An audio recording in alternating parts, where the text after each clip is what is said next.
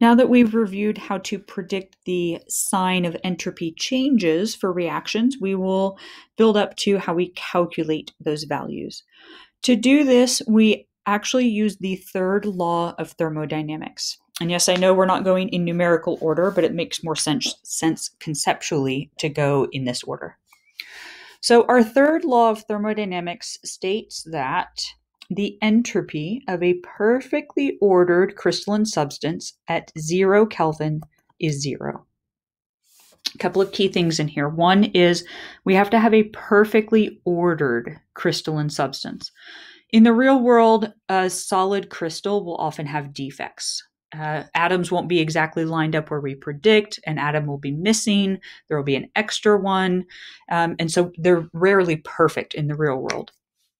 The other key thing is that we have to measure at zero Kelvin, which, by the way, has not yet been reached. So scientists have gotten really, really close, but uh, I don't remember the exact number. They're only down to 0.1 something Kelvin. So we haven't actually reached zero Kelvin yet. So when we say law, I actually put this in quotes because it's not a true law in the true sense of the word. But if we had a perfectly ordered crystalline substance and we could take it down to zero Kelvin, there would be zero entropy, meaning there would be no motion with that substance the impact of this law of thermodynamics is that it allows us to actually measure. This is actually a wrong word here. I'm going to change this to measure. We don't calculate it. It allows us to measure a pure entropy value of a given substance. So realize this is different than enthalpy. With enthalpy, we only ever referred to changes in enthalpy. There was no way to measure just an H value for a substance. So the difference with entropy is that we can measure just a pure entropy value, and then we can use that to measure the change in entropy for a reaction. Once we look up our pure entropy values for substances, which we can find in Appendix G, there's a, an abbreviated table in 16.2 in the textbook. We see that again, notice we have our standard notation here. It means we're measuring one mole of a pure substance, one atmosphere, 25 degrees Celsius. And we can use those pure molar entropy values in this equation to calculate the entropy of reaction. And hopefully this equation looks familiar. Notice we have the exact same setup as what we use to calculate the enthalpy of reaction same definition, same everything. The only difference is that we're using entropy values instead of our enthalpy of formation values. And so again, in two slides, we'll go through a sample calculation using this equation. Before we do that sample calculation, I wanted to just show this table from the textbook to illustrate the difference in physical states. So these are pure entropy values. This section here is showing our solids. Notice they're relatively low values. In fact, notice the value for diamond, how close to zero that is. Our values for liquids are next. Ooh, sorry. First time using that pen. That's kind of fun. Um, notice liquids in general tend to be higher. Notice it is possible to have a solid that is a higher value than a liquid right? So when I ask you to compare, I have to control variables on those. I have to control the physical states if I'm asking you to compare and predict values of entropies. And then on the right side over here, we have our gases. Again, a new tool over here. So that's our pen or pencil, sorry. So notice the gases on the right side here tend to be very large values.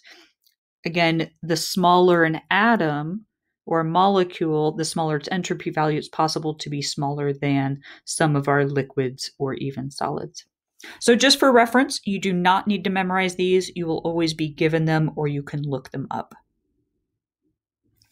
Another very important note down here, the standard entropy for a pure element in its most stable form is not zero. So recognize that elements like aluminum in its standard state still has an entropy value. So enthalpy of formation values for substances in their elemental form those are zero. For entropies, that is not the case. All right, so moving on to our entropy of reaction calculation. We are going to use our same combustion reaction that we used for enthalpy. So we already have it balanced here. But as always, I do want you to predict the sign of entropy first. And if you remember in our last video, this is where we actually predicted it to be pretty equal. They're all gases, we have the same moles on both sides, so there's really no clear evidence to know which way it should go. That actually will pro- prove useful once we calculate our answer. To calculate it, we have to look up or be given values. So again, from Appendix G, we have these values.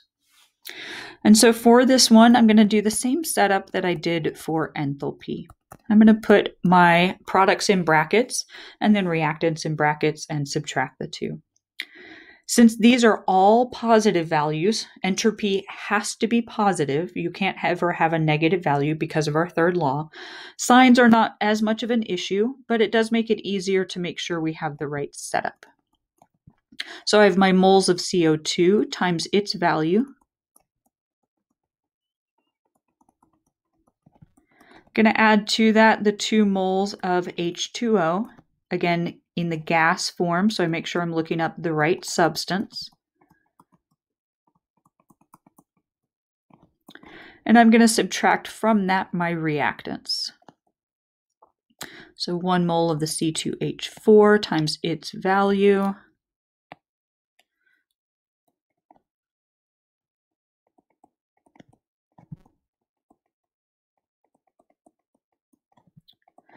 And notice in this case that we do have a value for oxygen. Again, entropies can never be zero, so we will have a value of entropy for every substance.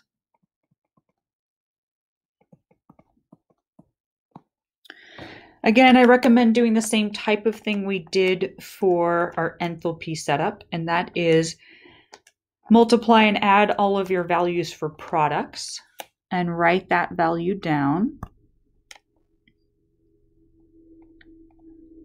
So when I add up my products, I get 805.2. When I do the same for my reactants, I get,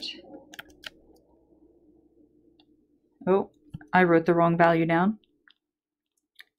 Correction here. My oxygen was a 205.2 mixed up some of my numbers. Sorry about that. Hope you caught that.